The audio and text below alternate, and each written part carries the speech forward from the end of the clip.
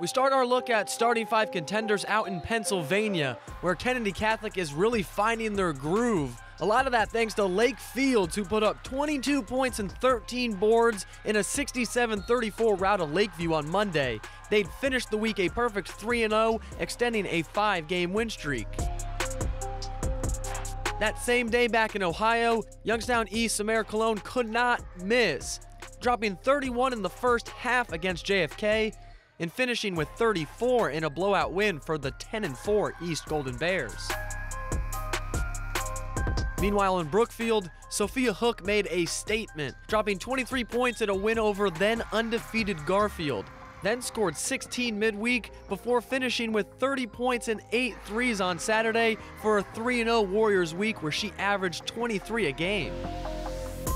But she wasn't the only Warrior getting it done. On the boys' side, Mateo Fortuna had quite the week himself. 19 points and 12 assists to start it, added 20 midweek versus Newton Falls, and then piled up 28 points to end the week. And I can't bring up Newton Falls without Mac Haydett routing out the list. The senior guard put up 25 points while hitting five threes in a big win over Brookfield to cap off a 2 0 week as the Tigers enjoy a five game win streak. For Sports Team 27, I'm Zach Verdia.